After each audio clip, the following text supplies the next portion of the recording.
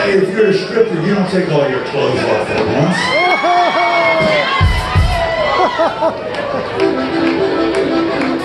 How many people ever been to Selma, Texas?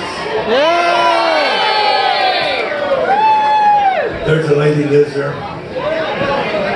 She's 88 years old. Old retired hooker. As quick as following Josh's face. Let me tell you something. This old man went to her house. We spent a whole week with her one night. Anyway, I wrote a song about her, and I'm going to sing it to you.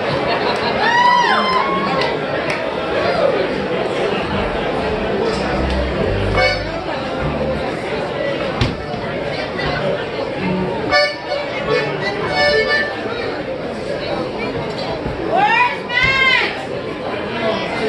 Max?